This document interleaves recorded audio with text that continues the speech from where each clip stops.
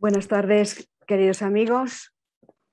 Un día más en esta escuela de verano para escuchar eh, buenos discursos y para compartir en buenos talleres entre todos las opiniones de cada uno.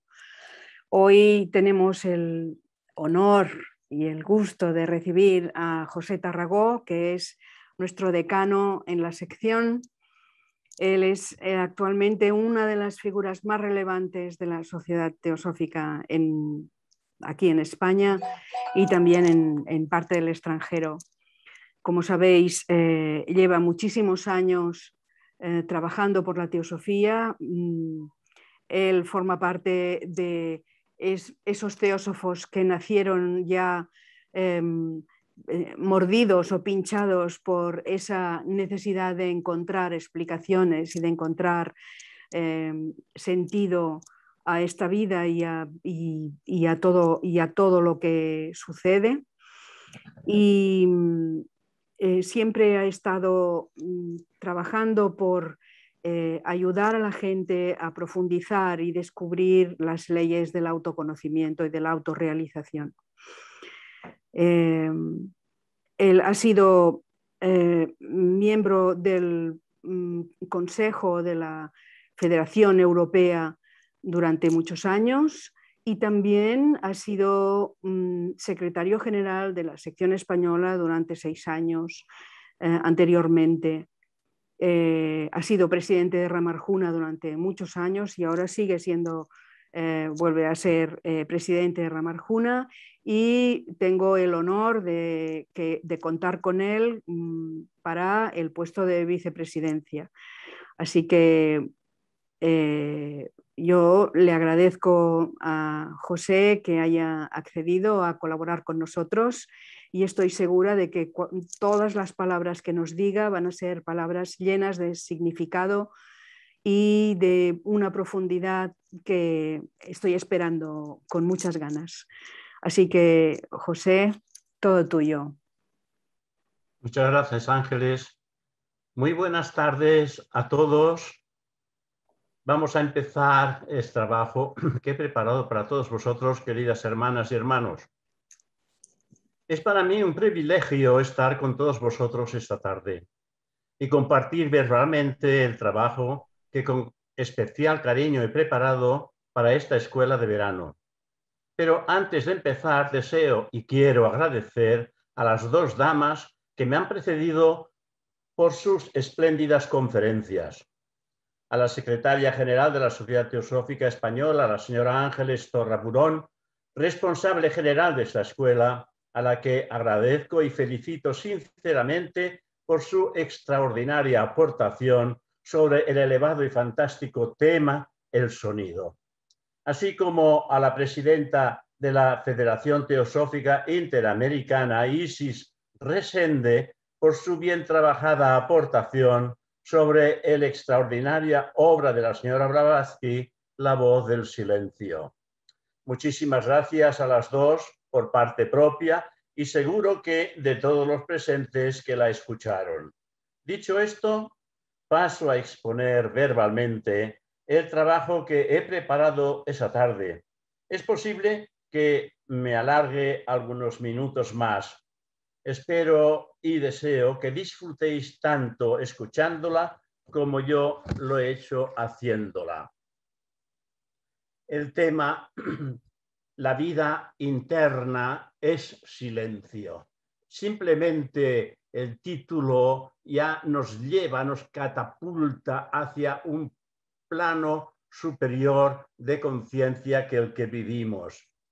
Queridos hermanos, lo más importante para todos nosotros sobre las maravillosas y extraordinarias enseñanzas teosóficas es nuestro interés por el silencio y la quietud.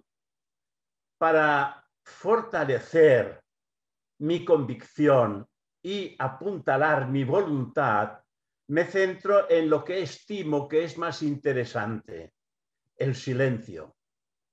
Me refiero tanto en el que hay en el silencio como al silencio mismo, que es una auténtica revelación. Sin embargo, debo advertir que el silencio tal y como lo vivimos no, no tiene nada de particular. El silencio es solo el marco, el contexto que posibilita todo lo demás. ¿Y qué es todo lo demás?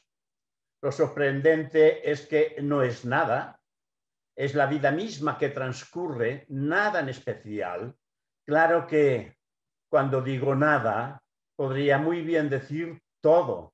O sea que el silencio lo es todo. Ese silencio ha ido apareciendo poco a poco, acompañado por algunos signos como el progresivo amor a la naturaleza, la afición a la montaña y a la cada vez más imperiosa necesidad de soledad. El silencio es muy precioso porque hay una comunicación que se establece cuando las mentes están quietas y no absorbidas en sí mismas, ni siquiera interesadas en el propio bienestar espiritual. La teosofía nos dice que el control de la mente no se aprende en un día. Hemos de vigilarnos y concienciarnos de la cualidad de la mente que nos hace hablar como lo hacemos. La calumnia, las palabras rencorosas o irrazonables tienen que desaparecer mediante la práctica de la concienciación. El aspirante a la espiritualidad se dice a sí mismo en el silencio, seré compasivo en el bienestar de los demás, de corazón amable, sin resentimiento. Haciendo esto, llenaré el mundo entero con pensamientos de amor de largo alcance y amplia repercusión, libre de toda malevolencia, y así permaneceré. Pitágoras, en su escuela, exigía a todo estudiante que aprendiera lo valioso que es el silencio y que lo que el estudiante dijera debía ser más importante que el silencio. Consejo que deberíamos de tomar todos al pie de la letra. El valor del silencio ha sido alabado en todas las tradiciones religiosas y forma parte de la disciplina en las comunidades espirituales. A unos se les enseña a observar el silencio durante largos periodos y a otros durante parte del día. El silencio de la lengua solo es un preliminar para el silencio interno. La lengua puede estar callada, mientras que la mente está bulliciosa. De hecho, la mente puede ser más ruidosa cuando la lengua está bajo control. Debemos considerar esto con atención y no simplemente según la práctica externa del silencio, aunque dicha práctica no puede ser de ninguna de las maneras ignorada. A los pies del maestro se nos aconseja que seamos prudentes con la palabra. Toda palabra dañina, crítica insana, ataques, calumnias e insinuaciones deben ser evitados de manera tajante y el estudiante de teosofía que busca el sendero, la mente debe estar esencialmente libre de juicio y condena. En realidad, ¿quiénes somos nosotros para juzgar a los demás? Los chismes son un síntoma de malicia de una imaginación hiperexcitada y calenturienta. Refuerza las debilidades ajenas al hacerlas más grandes. El cuerpo astral se excita por medio de una charla ociosa o sensacionalista y envenena toda la atmósfera. Pone pensamientos equivocados en los demás y poluciona la propia mente del que está hablando. En consecuencia, el resultado es triplemente dañino. Chismorrear es una costumbre a la que muchas personas es más o menos propensa, pero si somos serios acerca de la vida espiritual, hemos de ser conscientes de que repetir los incidentes, las historias tribales y tontas es dañino y estimula la distracción y la inquietud de la mente. Hay mensajes de la creación de Dios en todas partes, sin palabras, pero inteligibles para el corazón. Cuando escuchamos o oímos en silencio, se crea una relación de comunión más profunda. Por lo tanto, tratemos de mirar la belleza de la creación en silencio y poner la mente en esa condición serena desde la cual ve y comprende mejor. El silencio de la lengua está íntimamente ligado al silencio del cerebro y la mente. Es esencia, silencio, significa acallar o silenciar al yo egoísta. El silencio de la lengua es solamente el primer paso, el punto de partida. Las descripciones verbales y la identificación de las cosas a través de las palabras inmovilizan imágenes de la memoria y en el cerebro. Cuando el proceso de poner etiquetas e identificar se hace menos intenso, el cerebro se silencia y la tranquilidad interior está también más cerca los recuerdos de experiencias y objetos que abruman al cerebro y desgastan el sentido de comunicación, se hacen menos importunos. Perdón.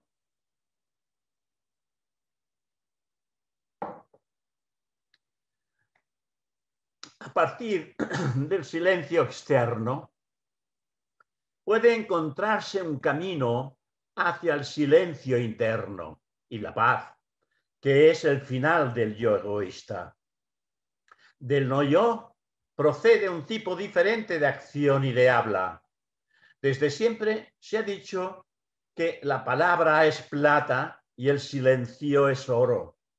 Pero las palabras también se convierten en oro cuando se usan correctamente y surgen de una mente inegoísta, recta palabra es parte del noble octuple sendero, es decir, la palabra que es amable, apropiada, precisa, verdadera y afectuosa.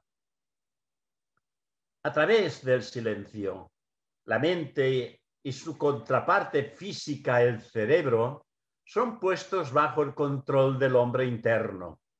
Así, el silencio crea armonía y comunicación en nuestros tres vehículos de conciencia, actuando como una sola unidad bajo el mando de la inspiración interna.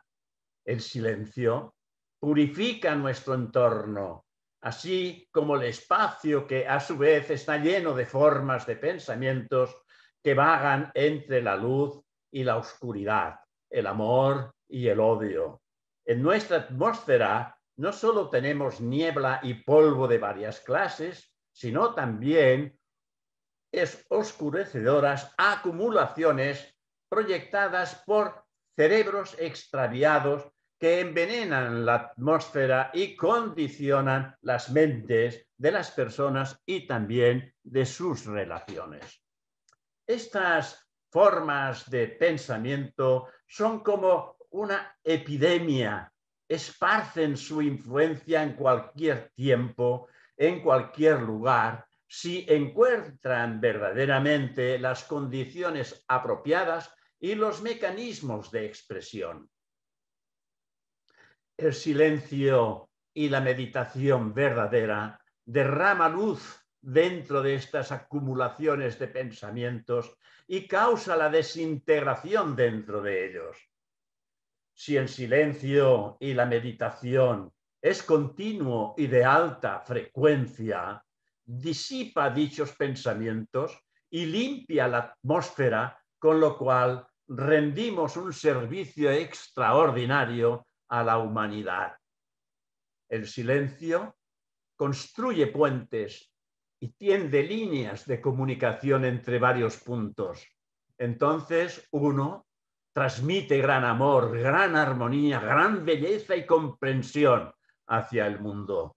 A su vez, el silencio es de gran ayuda en la construcción de vehículos de orden superior y de sustancias superiores para poder obtener y expresar las ardientes energías entrantes sin riesgo alguno.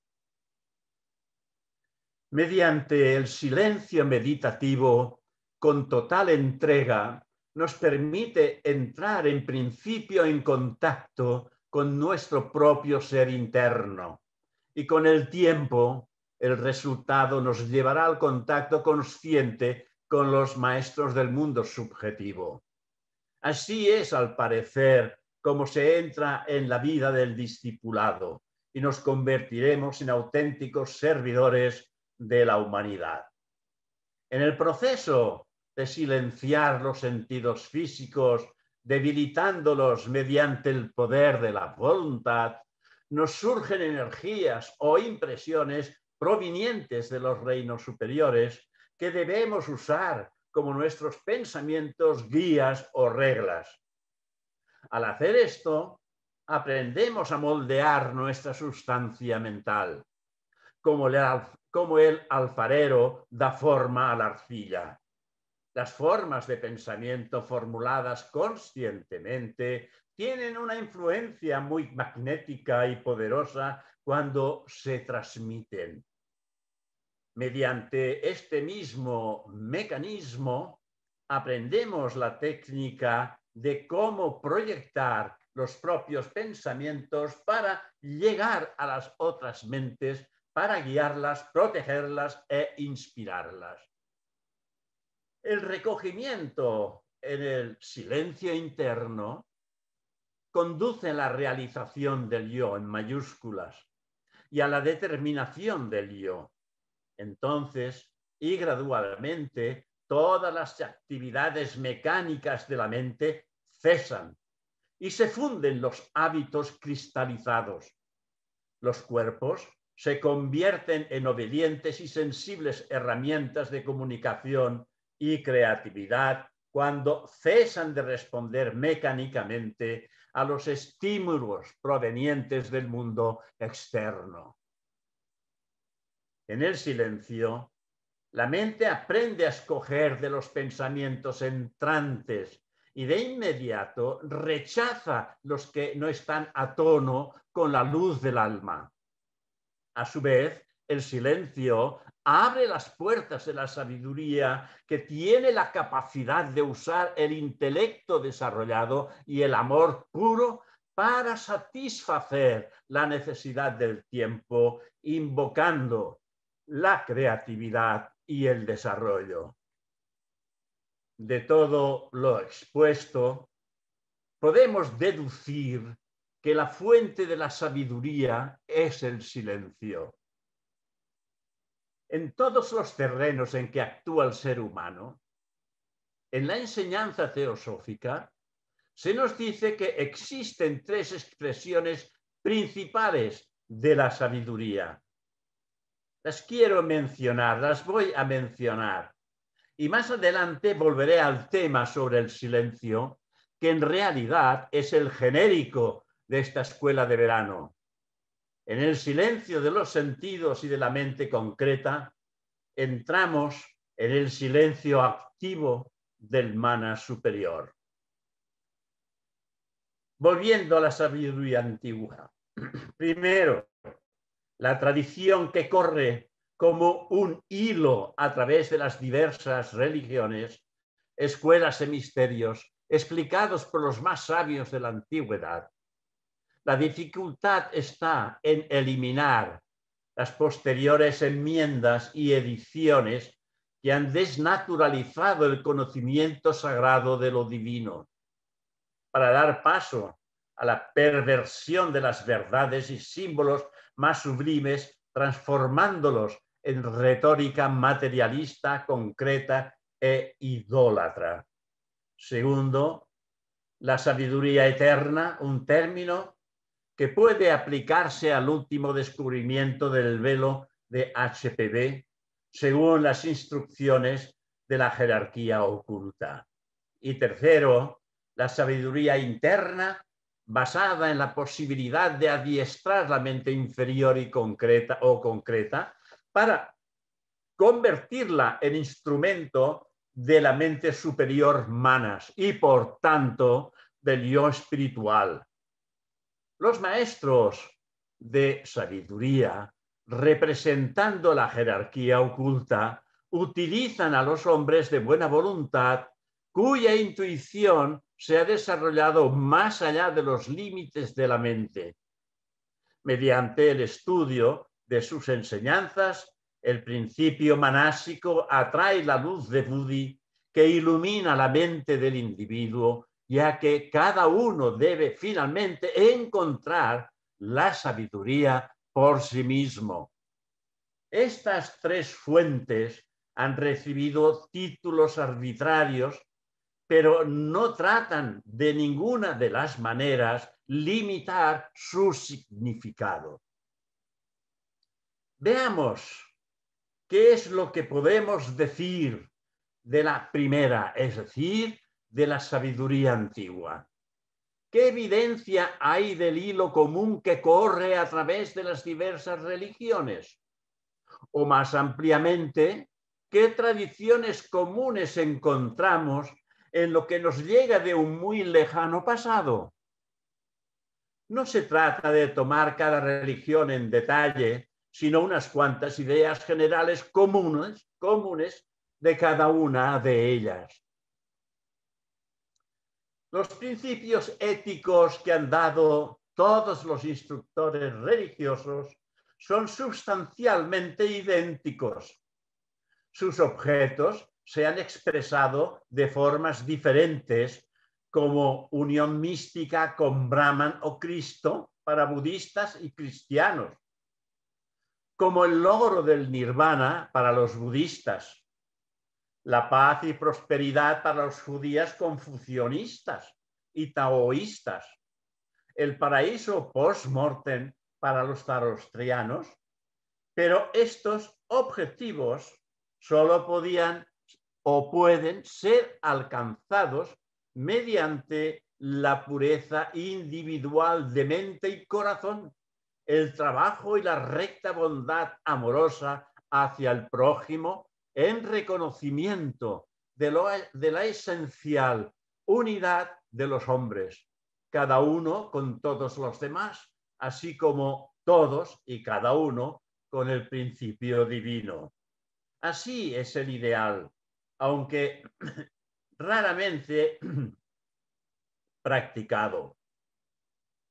Las preguntas que las religiones se hacen, así como todos nosotros, son contestadas teosóficamente y filosóficamente. Y son, como todos ya conocéis, de dónde vengo, qué estoy haciendo aquí, a dónde voy las tres preguntas se resumen en una sola. ¿Qué soy o quién soy? La respuesta está en que la vida en mayúsculas es todo lo que conocemos, lo que hemos conocido y lo que hemos olvidado. Es todo lo que nos queda por aprender. Sin esto, no somos nosotros mismos. La palabra vida en mayúsculas aparece en diferentes religiones como Dios el Padre, a veces la Madre, el camino o el sendero. Esta filosofía expone generalmente en forma de historia como la vida del alma que procede de un estado perfecto e inconsciente a través de la felicidad inconsciente y perfecta en el jardín del Edén seguida por la siembra de una semilla mental que ocasiona confusión, discusión y disputa. El individuo se ve así forzado a desarrollar el autoconocimiento y la conciencia de que puede retornar por su libre elección a un estado de unidad autoconsciente de felicidad. Esto se designa frecuentemente como el descenso del espíritu a la materia, seguido por la vuelta al espíritu con la cosecha de las experiencias externas, una idea subyacente que es al mismo tiempo filosófica y científica en todas las religiones. Es el propósito de alcanzar una visión del mundo, del universo, como un todo. Algo de esto mismo, de alguna manera, nos indicó o nos comunicó Ángeles Torra.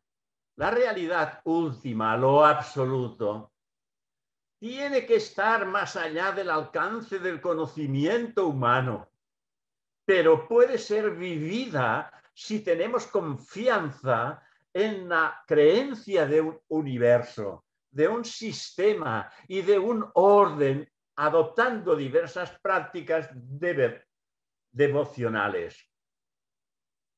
El hombre religioso de las sociedades arcaicas creía que el mundo existía porque había, sido creado por dioses y por ello la mera existencia del mundo significa algo.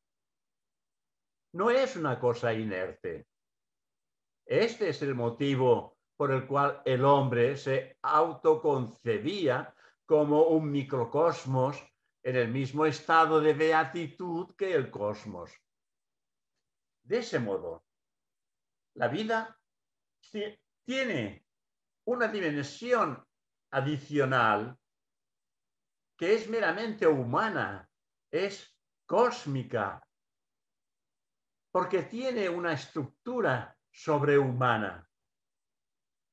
Se deduce, por tanto, que cada hombre puede experimentar la realidad última y la totalidad del universo experiencia mejor que la que tenemos en el presente.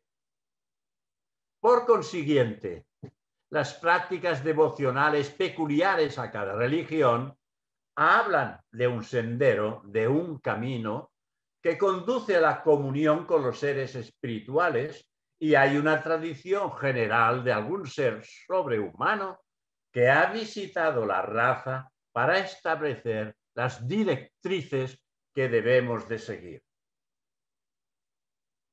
De lo dicho, de lo precedente, se desprende algo de la sabiduría antigua, algo más que detalles de formas religiosas.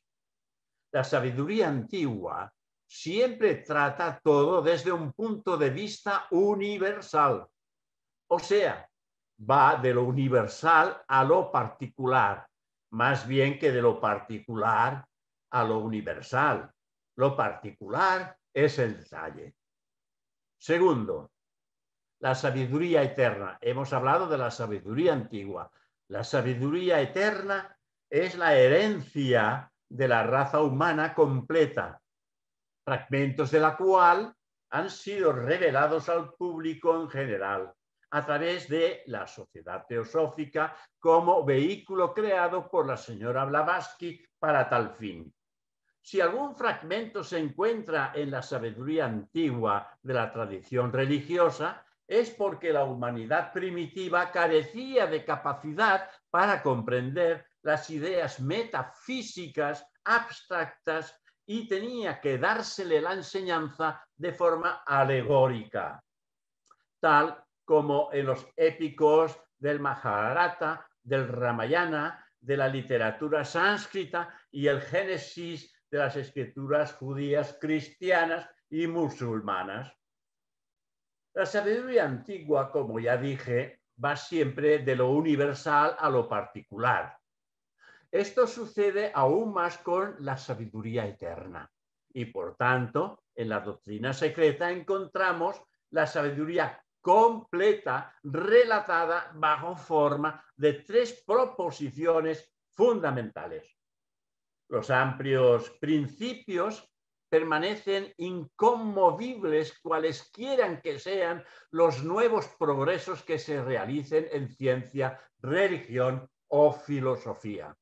Por eso debemos distinguir entre los que podríamos llamar de sabiduría y los del conocimiento contemporáneo.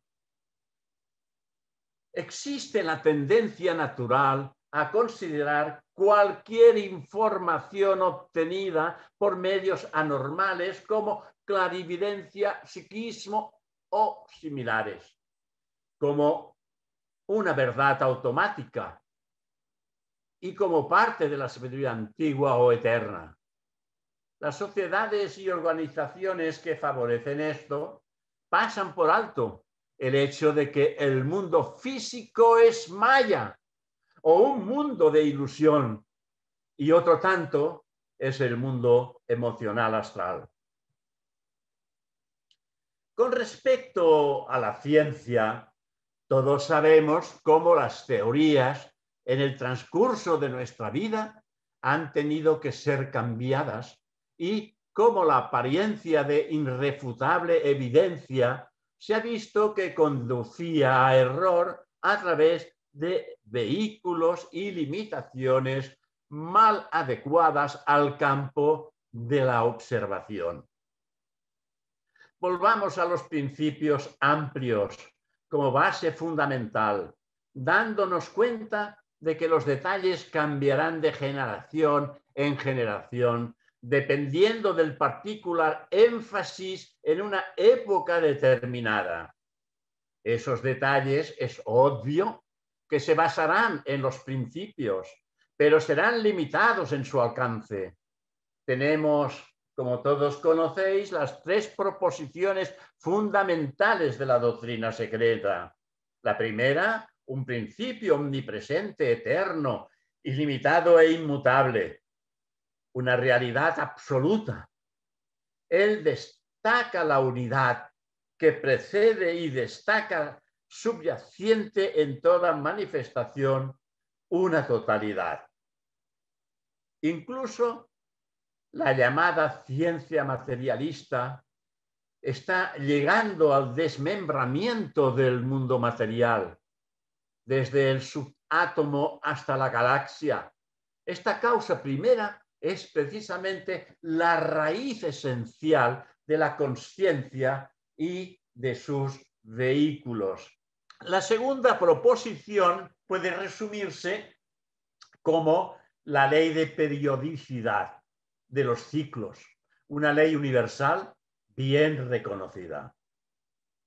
La tercera afirma la identidad fundamental de todas las almas con la superalma universal. Puede considerársela como un aspecto de la primera. Refuerza, pues, la idea de la segunda al afirmar el obligatorio peregrinaje de cada alma a través del ciclo de encarnación y de necesidad, de acuerdo con la ley cíclica. Estas tres bases fundamentales pueden resumirse en una realidad absoluta que se manifiesta en progresión cíclica a través de la expresión de las entidades individuales procedentes de la superalma universal.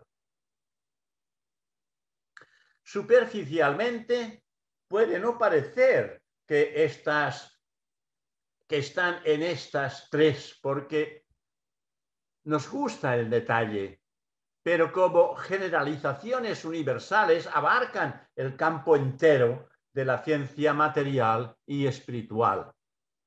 Apenas hay un espacio de la ciencia material moderna que no pueda relacionarse con uno o más de estos tres principios, pero nos llevan mucho más lejos al abarcar el mundo del espíritu, el mundo real, según la doctrina secreta. Estos principios se desarrollan bajo seis secciones. Primera, la doctrina secreta es la sabiduría de las edades que ha sido preservada mediante el registro en forma simbólica y la interpretación ha sido controlada por la visión independiente de los grandes adeptos.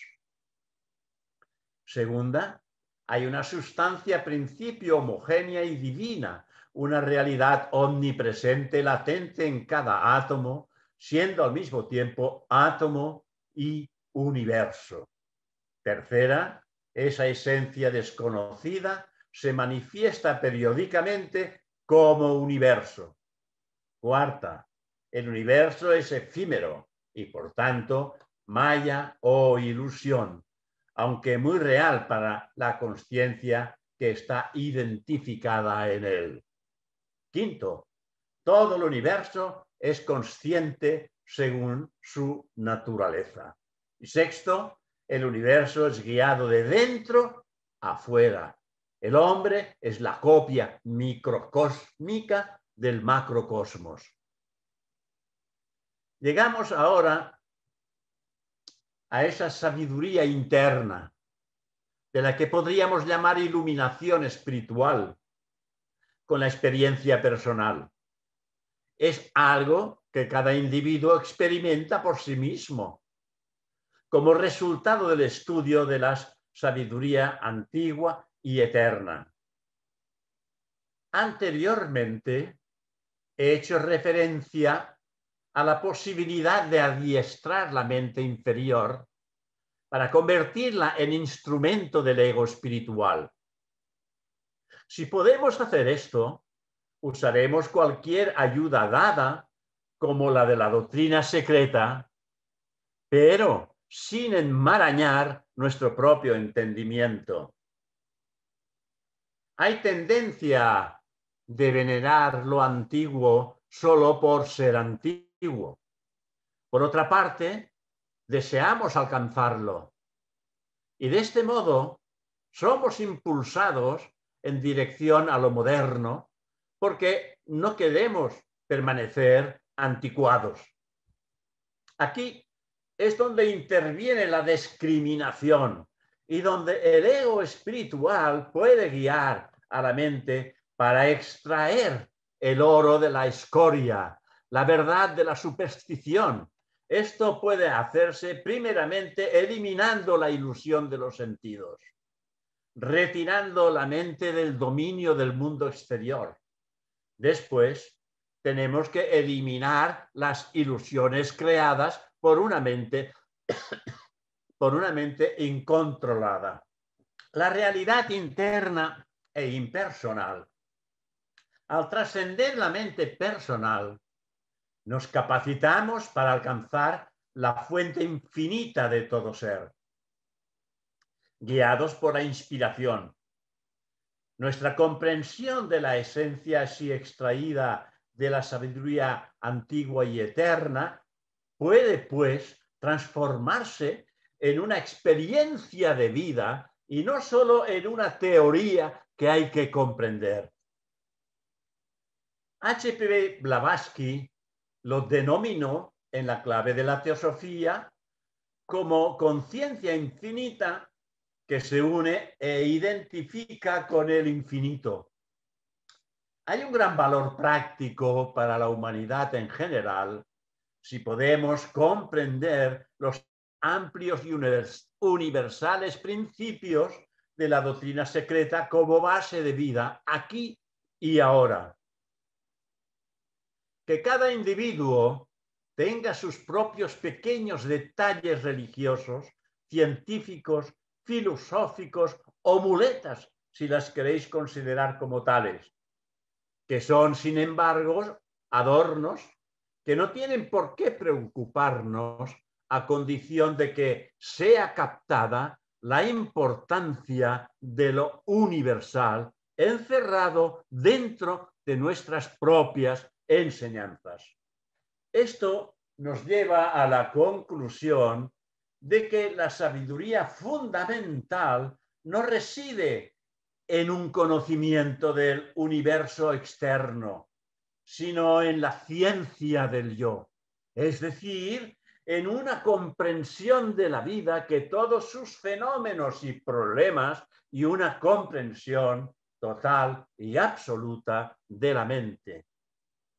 La ciencia ortodoxa investiga la naturaleza del mundo externo, pero la verdadera sabiduría reconoce mucho más lo importante que es conocer el camino hacia el desarrollo de nuestras facultades internas, un conocimiento que ilumine nuestro sendero en la vida, ocasionando un cambio en uno mismo que altera todos los valores y relaciones con los demás seres y cosas.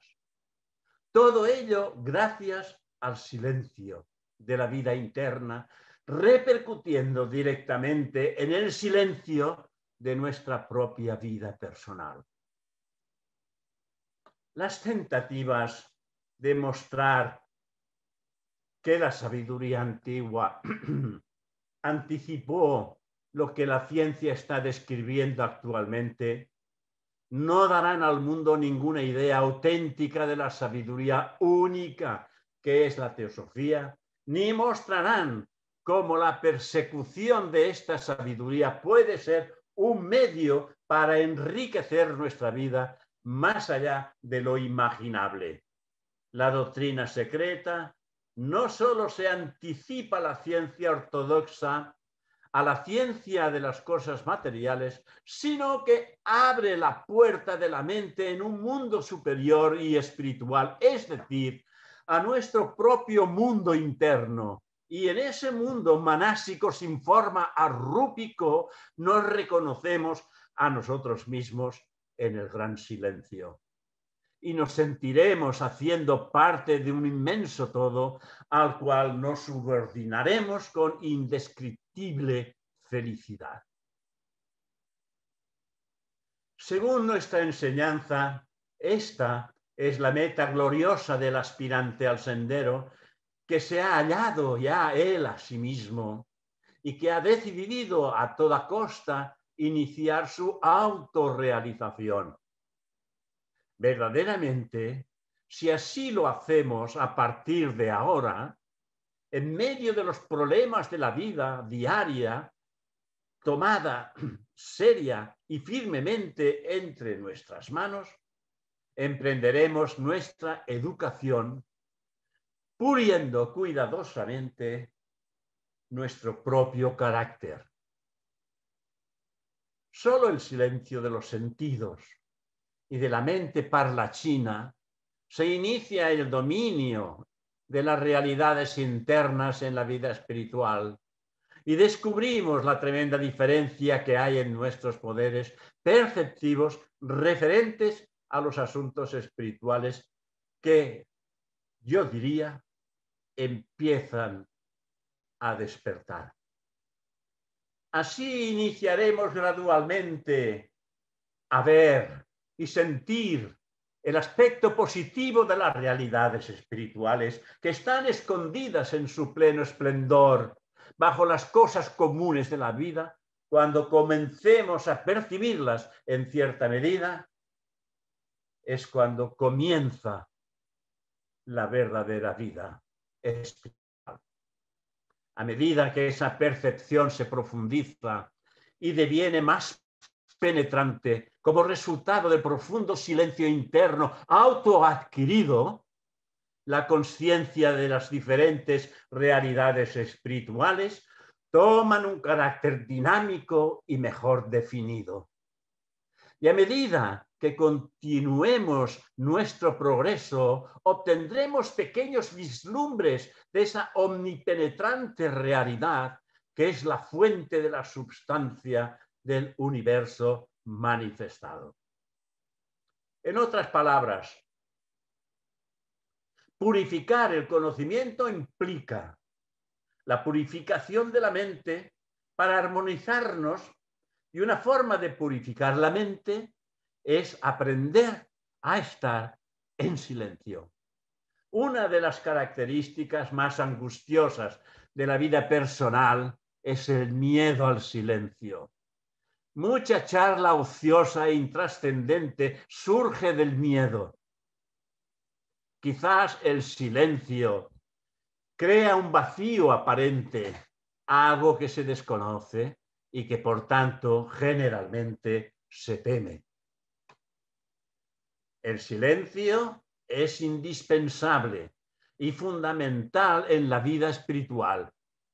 ¿Qué significa estar completamente en silencio? Una de las preguntas que se han dado. El cuerpo está quieto, no se aquieta, no se inquieta, perdón. Las emociones están en reposo y la mente está alerta. Es importante observar los silencios entre dos pensamientos. Estos se alargan y su calidad cambia en el tiempo.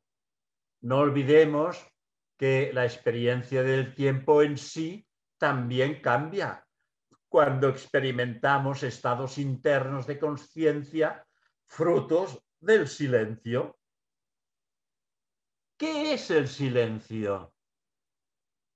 El silencio es mucho más que la negación del sonido. Iba a decir Saturnino. Ángeles Torra, ella nos ha hablado del sonido. El sonido, el silencio, es mucho más que el sonido. Es mucho más que la negación, perdón, del sonido. Yo digo, es el sonido mismo. Es el sonido en sí mismo. Algo que ha aclarado muy bien, de una manera satisfactoria para mi entendimiento, puesto que evidentemente que entender el proceso de la vida en los planos internos y superiores es algo que debemos de intentar realizar por nuestro propio esfuerzo. Y esa presentación de ese, de ese pequeño trocito que Ángeles nos ha dado me ha abierto enormemente la comprensión de qué forma pretende la vida manifestarse y el porqué de la misma. Así que repito, ¿qué es el silencio? El silencio es mucho más que la negación del sonido, porque es el sonido mismo. Eso lo he añadido yo después de haber escuchado a ángeles. Las cosas espirituales vistas desde los mundos inferiores a menudo se presentan como paradojas. Por lo tanto, es posible que no sean fáciles de comprender. A veces se requiere un acto de fe antes de que pueda ser realmente conocido y comprendido. La noción de que el silencio es sonido está, por supuesto, bien ejemplificada en el tema de ese maravilloso clásico teosófico, La voz del silencio, también expresada por Isis Resende. Voz que toma diferentes formas dependiendo de nuestro estado de conciencia. Para vivir ese silencio, esa vida universal, esa vida espiritual, hay que morir como yo personal para nacer como yo espiritual. A ese estado se le llama el dos veces nacido, por el cual cabe preguntarnos honradamente, ¿estamos realmente dispuestos a disolver nuestro yo personal? Es difícil mantener un recto equilibrio entre el alma y la personalidad, pero cuando el estimulante espiritual es inexorablemente alto, la fuerza del alma es como la luz del sol en un jardín. En él emergen tanto hierbas como flores. El interno silencio está emparentado con disciplinas de carácter esotérico y que nos encauzan a la práctica de las mismas, que nos conducirá a la puerta estrecha del sendero y que no es el camino simple de las creencias por el que andan los muchos. Es un camino de retorno en el que la conciencia avanza de un estado a otro más profundo y abarcante que el interior. La doctrina de la filosofía esotérica no admite privilegios ni dones especiales en el hombre, salvo los ganados por el propio yo superior, por esfuerzos y méritos personales a través de una larga serie de reencarnaciones. En el Bhagavad Gita hay un bello versículo que dice, habiendo penetrado todo este universo con un fragmento de mí mismo, yo permanezco.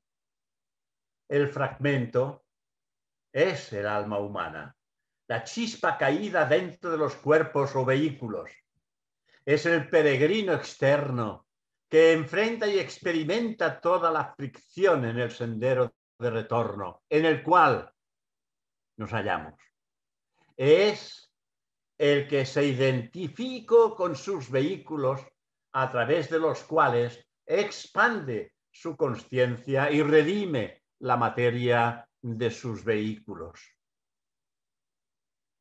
La parte interna permanece en silencio y nunca se identifica con los vehículos, pero está ahí, está allí, en su alto nivel. El yo silencioso resplandece como una luz eterna. El fragmento que llamamos el alba humana es el reflejo de la gloria interior fundido con la materia de los cuerpos inferiores que forman o configuran el yo personal.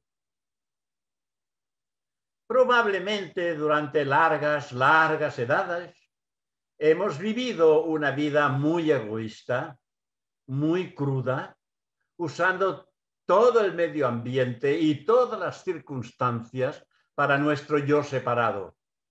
Pero esto no se detiene ahí, porque nuestra parte superior, el imán interno, eterno, nos atrae de vuelta hacia nuestra propia morada, de modo que nuestra aspiración aumenta y cuando nuestra vida mental está muy activa, construye un puente, aunque minúsculo, hacia el nivel intuitivo y esto ya no hay quien lo pare. Pero al principio, cuando buscamos el interno silencio, un pequeño avance no resuelve el problema. Van apareciendo todas las deudas del pasado exigiendo solución. Todas nuestras ansias y deseos son como ladrillos de plomo que levantan paredes o obstáculos en nuestro propio sendero. Este no es un camino de rosas. Cuando menos te lo esperas, una espina se nos clava en el pie que nos deprime y nos desespera e incluso nos hace perder el estímulo y la visión durante un tiempo más o menos largo entre la luz y la oscuridad, entre lo real y lo irreal. No olvidemos que el guardián del umbral está formada, formado con todos nuestros hábitos egoístas, con todos nuestros deseos de satisfacciones materiales, que se basan en la separación y el karma resultante, formando una gran barrera entre el yo superior y el alma humana en desarrollo. Pero, queridos amigos, queridos hermanos, el fragmento conciencia no puede ser aprisionado eternamente en esa condición. El ser interno o yo superior evoca cíclicamente una respuesta por parte de la conciencia y el alma humana irradia una aspiración más honda. Pero antes de que pasemos a la esfera de libertad superior, debemos atravesar noches oscuras con todas las agonías, miedos y renunciamientos de esas noches psicológicas. Aquí se nos presenta la oportunidad para la purificación. de todos nuestros vehículos y desarrollar sus maravillosas cualidades. Al parecer, así comienza el gran proceso de la transfiguración.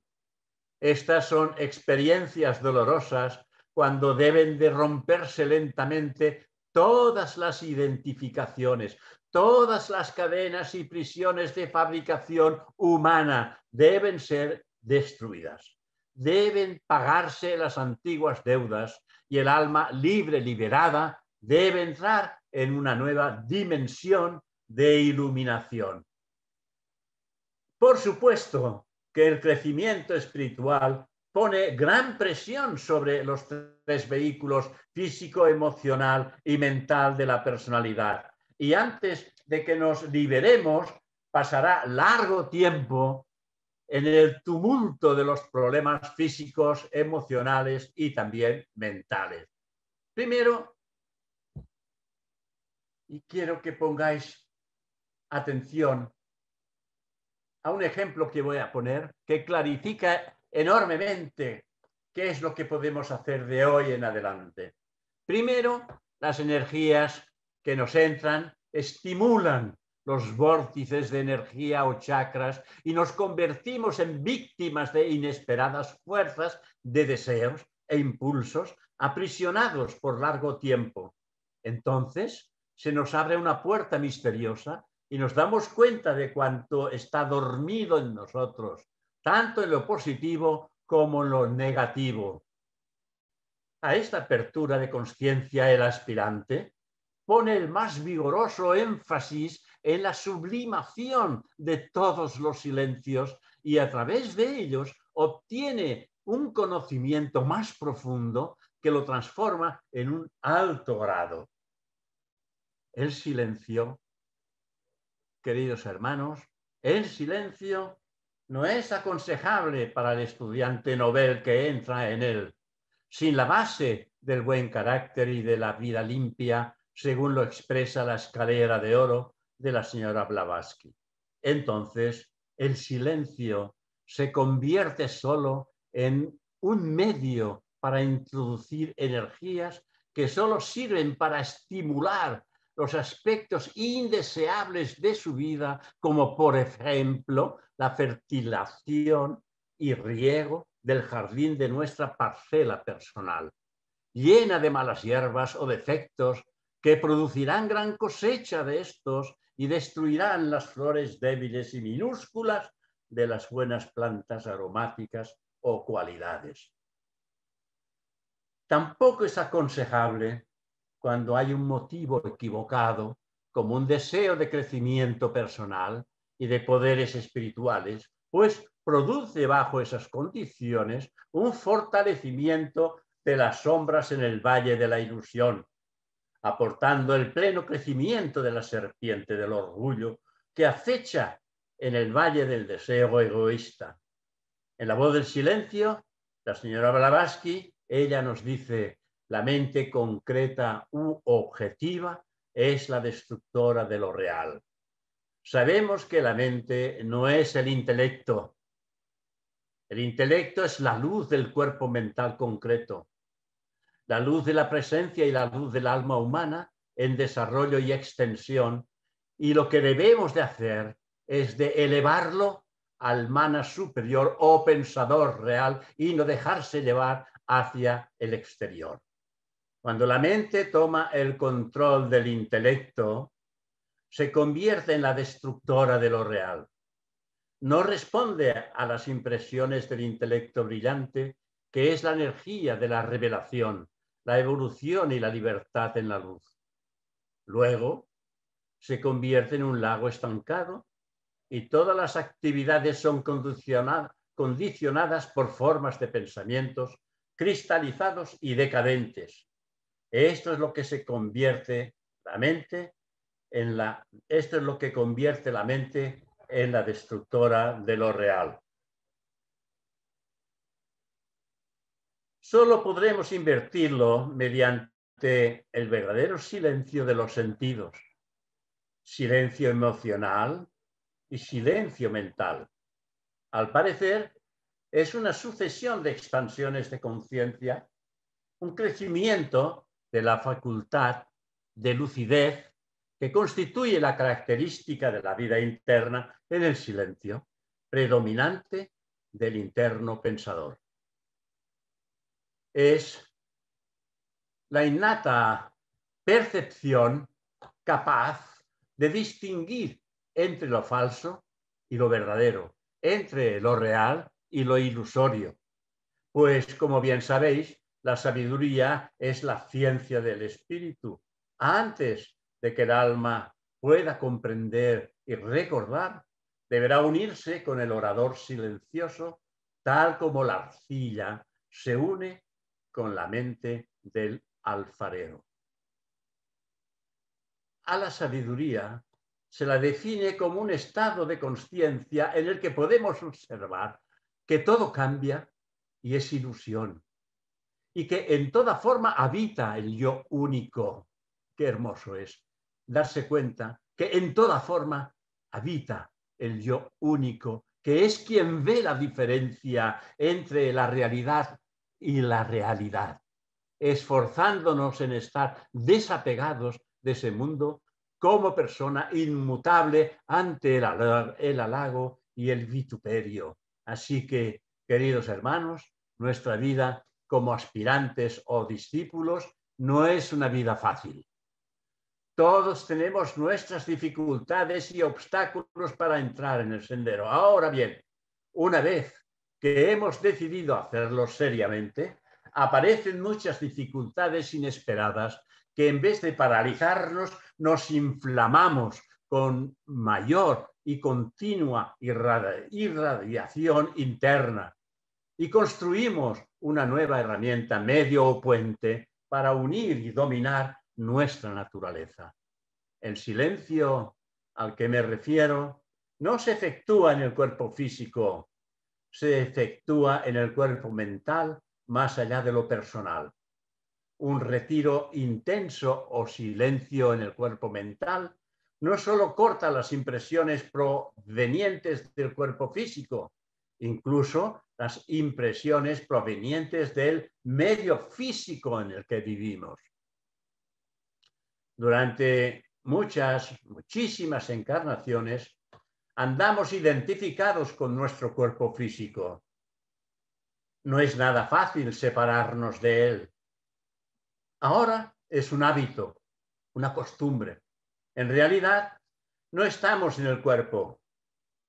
Siempre decimos que estamos en el cuerpo, pero en realidad no estamos en el cuerpo. Pero en nuestro antiguo hábito estamos identificados con Él. Esta es la razón por la que nos es tan difícil destruir ese hábito y pensar de que no somos el cuerpo. La interiorización o silencio meditativo nos hace tomar conciencia gradualmente de ello y al persistir en nuestra vida espiritual tendremos largas experiencias que podemos controlar nuestro cuerpo y desapegarnos de él siempre que lo deseemos.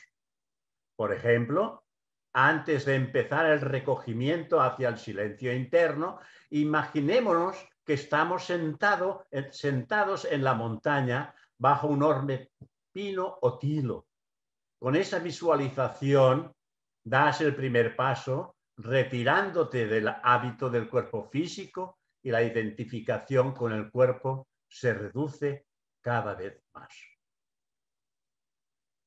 Así que la sabiduría emanada del silencio interno es la unión a través de la discriminación y es aquí donde comienza el gran ciclo del desarrollo mental.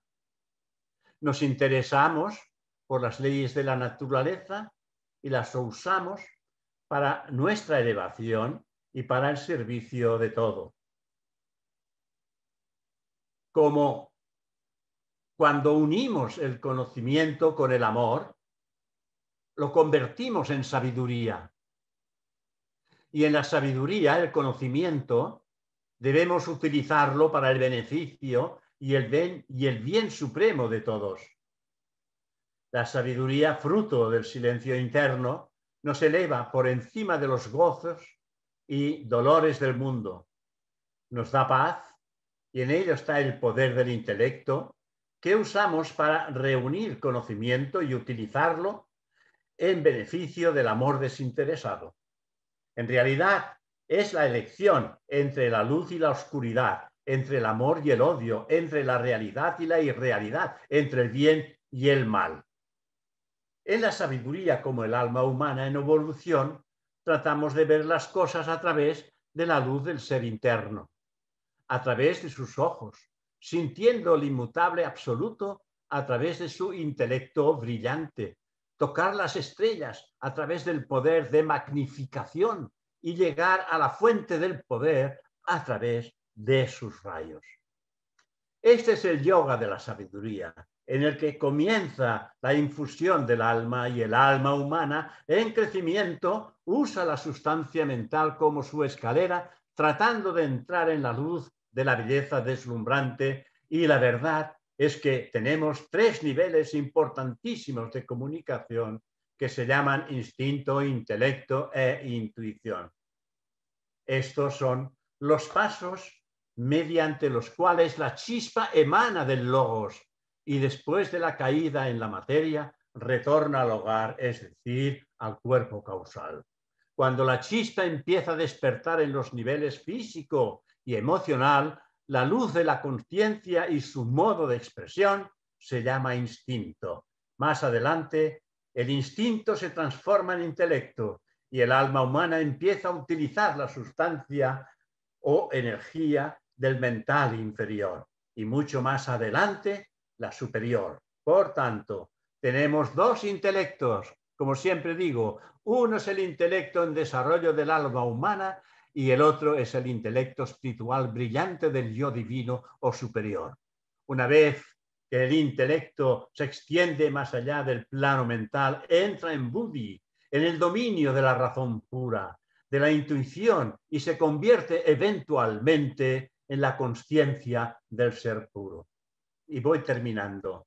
En realidad, el intelecto, fruto del discernimiento, es el tercer aspecto del yo real, no aparece hasta que el hijo pródigo o yo retorna al plano mental superior, morada del alma, nuestra propia morada, y empieza a expresar el tercer aspecto de su verdadero centro. Este es el momento del intelecto, del alma humana en desarrollo. Es un reflejo de la luz del alma. La conciencia no es el intelecto, la conciencia es el resultado de la interacción del intelecto y la sustancia material. Es decir, que cuando la energía del intelecto golpea la materia, se crea la conciencia, un área iluminada en que las cosas se perciben, ven y se sienten. El intelecto es el polo positivo, la materia etérica, física, astral es el polo negativo. La conciencia es el área iluminada creada por el contacto de esos dos polos. Nuestra conciencia se expande cuando la inteligencia del alma humana opera en los niveles superiores con sustancia o energía más sutil y campos mayores. A medida que nos dirigimos rumbo al espíritu, la conciencia de lo concreto decrece y el conocimiento aumenta. La conciencia superior es el conocimiento directo, es creada cuando la, radiación del yo interno entra en contacto con el plano intuitivo y superior, produciéndose una gran luz que penetra en las formas y cualidades, finalidades y causas, viendo las cosas como son, sin las limitaciones del tiempo, del espacio y la materia. El yo interno obra a través de dos polos, un polo consciente, dirigido hacia el espíritu, y un poco del intelecto dirigido hacia el hombre inferior. Su técnica, activar el intelecto en la sustancia mental a través de la discriminación, la concentración y la comparación, de modo que el intelecto humano se desarrolle y se funda con el intelecto del alma, creando una expansión a nivel superior de la conciencia si no se invoca a la inteligencia espiritual del alma como guía, se corre el riesgo de crear una cristalización en el plano mental y detener el progreso del peregrino durante edades. Si se obra correctamente, se cultiva la sustancia o energía mental y la transforma en una maravillosa herramienta para el servicio. En el verdadero sendero espiritual, cada vehículo, cada subplano de cada plano, deben ser cultivados hasta su grado superior, de modo que eventualmente el Hijo de Dios que regresa, el peregrino o alma humana, pueda utilizarlos para expresar las cuatro cualidades de su esencia que son silencio, la inteligencia activa, amor y voluntad. Perdón.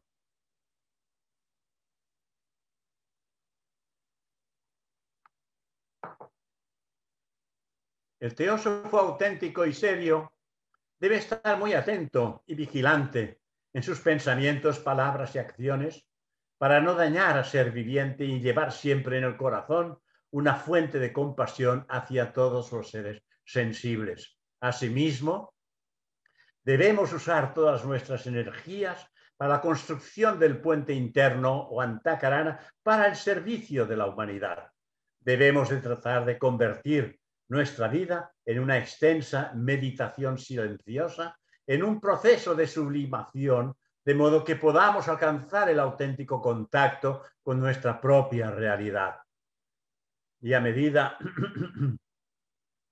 a medida que persiste el proceso, desaparecen nuestros hábitos, acciones mecánicas, recuerdos, ilusiones e impulsos enfocando todo nuestro interés en el mundo causal y adquirir la gran sabiduría acumulada a lo largo de las edades. El conocimiento de lo no existente es lo que verdaderamente constituye el descubrimiento en el sentido espiritual y solo puede surgir en el silencio completo de la mente porque la mente solo puede conocer lo que tiene existencia, lo que está manifestado. Lo inmanifestado solo es percibido por el silencio de dos pensamientos. El sonido insonoro solo puede ser oído en el intervalo de dos sonidos. Percibir lo inmanifestado, comprender lo no nacido, es lograr una visión de la totalidad. Y es con esta recta visión que podemos comenzar nuestro peregrinaje por el sendero. Queridos hermanos, si me lo permitís, y termino, no quiero poner punto y final a este bosquejo sobre el interno silencio sin antes deciros lo que dije en el último retiro de silencio que hizo Ramarjuna. Su título es Bendito silencio. Silencio. Solo silencio solo este bendito silencio. Qué hermosa palabra, que sin decir lo dice todo. Silencio. Respiremos en el silencio y todo a nuestro alrededor se detiene. Sin embargo, el mundo no para de girar. El mundo no se detiene. El mundo gira y gira en ese bendito silencio. Es la magia del silencio, la magia de la vida que habita en mí y en todos vosotros. Lo más hermoso es que nos damos y o nos daremos cuenta de que en este silencio del corazón vibra eternamente la vida nos recogemos en el más absoluto silencio interno del ser. Por ello, te buscamos una y otra vez. Tu magia nos devuelve a nuestro interno y único y verdadero hogar. No tenemos otro hogar para ir al que tan amorosamente nos llevas. Espiritualmente ya en casa, en el hogar interno, en el más absoluto de los silencios, encontramos la calma, nos serenamos, nos rendimos. Sin embargo, una fuerza, un poder emergiendo cada vez con mayor energía, vuelve a ser la magia de la vida que hay en todos vosotros y en mí mismo. Muchísimas gracias por vuestra atención y os pido perdón porque realmente me he pasado un cuarto de hora de lo previsto. Gracias.